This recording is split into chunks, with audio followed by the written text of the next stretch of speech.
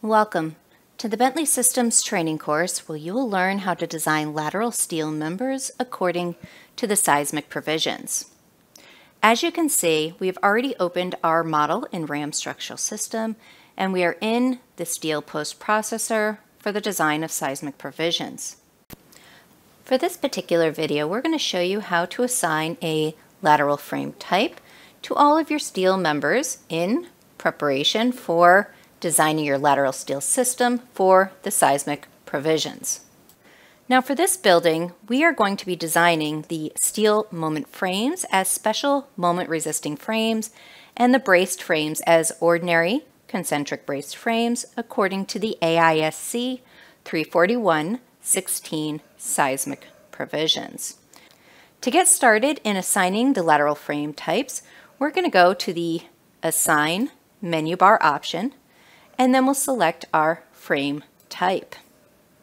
From the Assign Frame Type dialog, you can see that we have a variety of different types of frames that we can assign in the Seismic Provisions mode.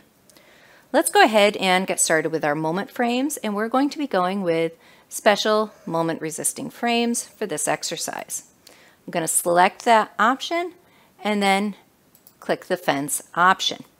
Now, as you can see, the default in RAM frame is that no type is currently assigned. So what I'm going to do is I'm going to go ahead and rotate my model, and I'm going to draw a fence around all of my lateral steel members that are part of my moment frames. I'm going to start with the left-hand side, and here you can see they've been labeled special moment resisting frame, and then I will go again with the right side verifying my selection each time. Now once you're done with your moment frame, let's go ahead and right click and return to the previous dialog. We're now ready to work on our braced frames. To do that, let's go ahead and select the appropriate frame type. And for this exercise, we're going to go with an ordinary concentrically braced frame, chevron. Again, we're going to click on the fence button and we will draw a fence around our chevron braced frames. Now that we have specified our steel design code, we have generated our load combinations and assigned our frame types, we're ready to proceed with the design of the lateral steel members according to the seismic provisions, which we'll go ahead and show you how to do in the next video.